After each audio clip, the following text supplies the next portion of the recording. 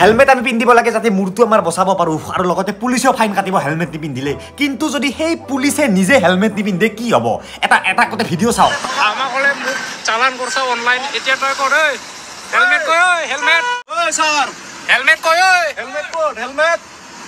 গাড়ি কে হেলমেট। তো আপুনি যদি ৰাস্তাত এনেকুৱা অপৰাধ দেখা পায় পুলিচে নিজে কৰা আপুনি কি কৰিব? ক'ব নিজে পুলিচে ট্ৰেফিক পুলিচে পুলিচে যেতিয়া হেলমেট নলগায় আপোনালোকে খালি তেওঁলোকৰ এই মটৰচাইকেলৰ নম্বৰটো ফটো মাৰি পুলিচক যিকোনো ট্ৰাফিক পুলিচক দি দিলে হ'ল। তেওঁলোকে অনলাইন চালান কাটি দিব।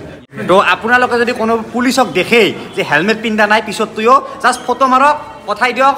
আপুনি পুলিচৰ ওপৰত বিহিত ব্যৱস্থা ল'লে। ৱাও